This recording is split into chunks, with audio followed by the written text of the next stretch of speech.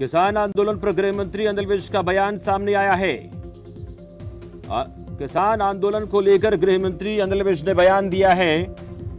व्यापारी अब हाईवे खुलवाने की मांग कर रहे हैं अनिल विज ने कहा है।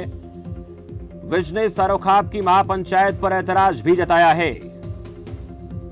तो किसान आंदोलन पर गृह मंत्री अनिल विज का बयान उन्होंने कहा कि आंदोलन की वजह से लोगों की आज़ादी बाधित ना हो व्यापारी अब हाईवे खुलवाने की मांग कर रहे हैं।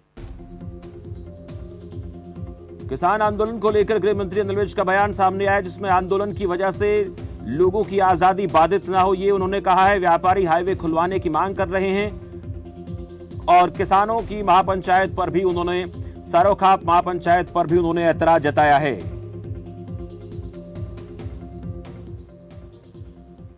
किसानों को इस बात को समझना चाहिए।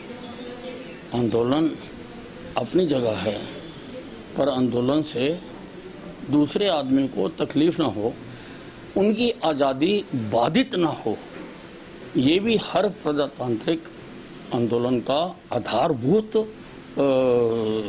जो है प्रिंसिपल होता है। सीएमओ कार्यालय तक भी नहीं पहुँची कि वो आगे प्राइवेट हॉस्पिटल्स को जो है वो लिखित आदेश दे नहीं नहीं वो हम दे चुके हुए ऑलरेडी दे चुके हुए और बहुत सारे स्थानों पर, वो तो नोटिफिकेशन हो चुकी हुई है और बहुत सारे स्थानों पर तो डिप्टी कमिश्नर्स ने प्राइवेट अस्पतालों को बुलाकर उनके साथ बैठक भी की है और मैंने खुद वीसी करके सभी डीसीज को कहा है।